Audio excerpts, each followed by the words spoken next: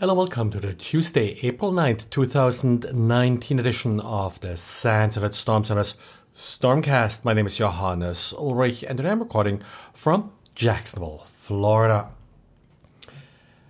Let's start with a couple of patches uh, today. First, Trend Micro released a critical patch, as they're calling it, for Apex One Office Scan and their Worry-Free consoles.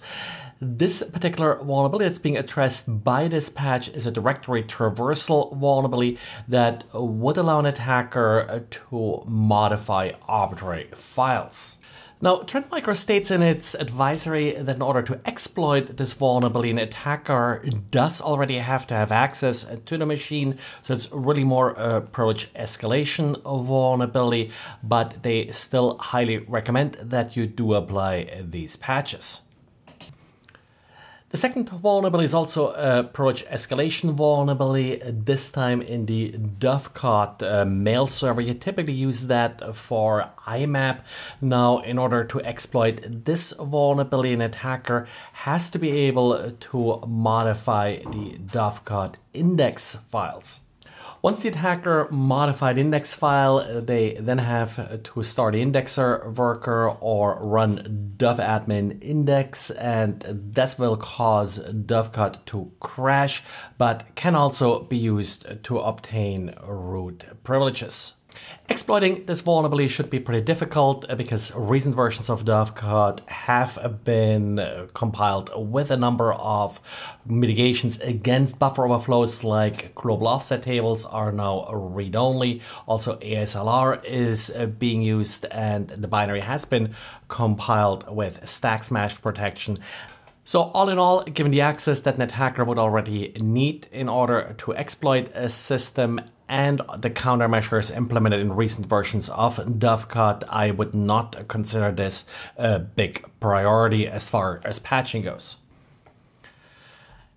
And talking about some older vulnerabilities, a couple of weeks ago, we had this privilege escalation vulnerability in Apache CVE 2019-0211.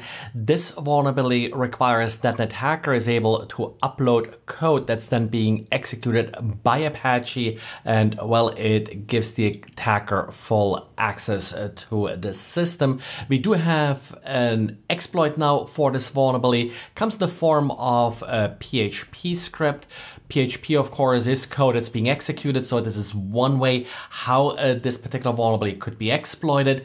It does come with a lot of uh, comments, so shouldn't be all that difficult to port this to other languages.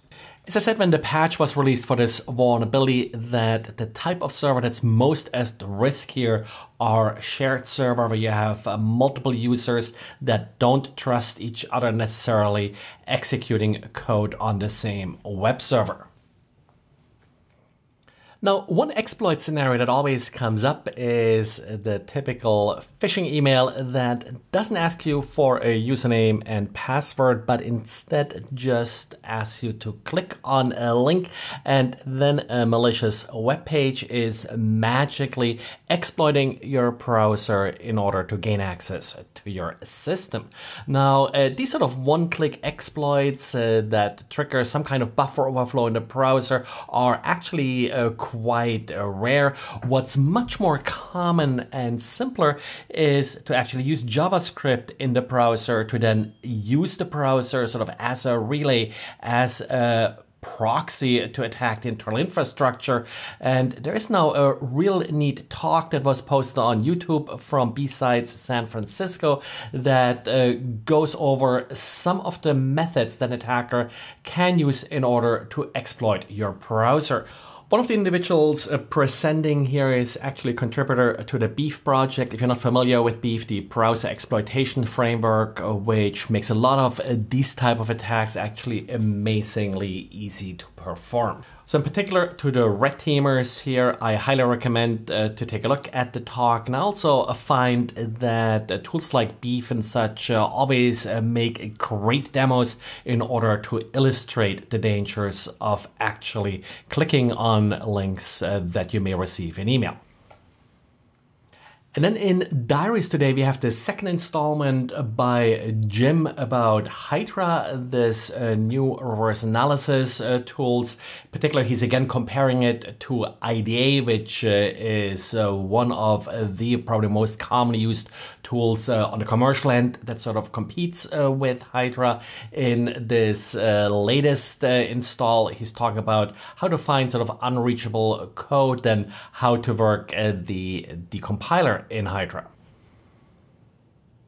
Well, and this is it for today. Thanks for listening and talk to you again tomorrow.